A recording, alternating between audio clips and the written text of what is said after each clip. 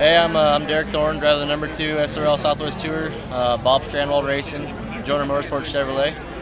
Um, so far this season, we've had a pretty good year. Um, it's six races, be our sixth race this, tonight here at Irwindale Speedway. Um, we fired off the season real good, won Roseville uh, up in Roseville, California. And we run one again uh, three races later at, at Vegas. Um, in our first three races, we finished didn't finish outside the, outside the top two. We broke three track records and pretty much we, we dominated. We had a really good car. Jonah Motorsport sets up our stuff. Um, he's my boss, and we got a great shock program.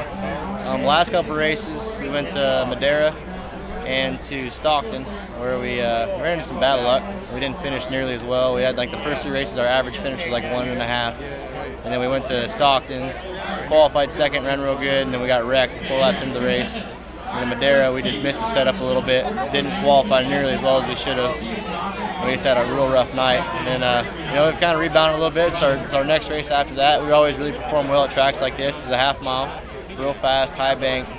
It's got a lot of history here. The track's got a lot of personality. You go on the top, the bottom. Um, you know, it's one of the deals where from night, day to night, it's going to be a completely different setup. So a lot of guys here kind of got to shoot for, you know, kind of take a shot in the dark at it, you know. So I think we got a good car today. Um, I really got to thank my sponsors. I got Jonah Motorsports, Victory Circle, um, Bob Strandwald for giving me the opportunity, Approved Memory. Um, you know, it's just fun here. We're, we're here, it's hot. You got to keep in mind it's a long race, 100 laps.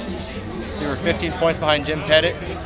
And, uh, you know, we got four races left in the season, so I think we can get them. You know, it's only five points per position, so it ain't much. It takes one good night for me, one bad night for him, or one bad night for me and one good night for him. It's just one of them deals where racing's a lot of luck, a lot of skill, put yourself in the right positions, and hope for the best.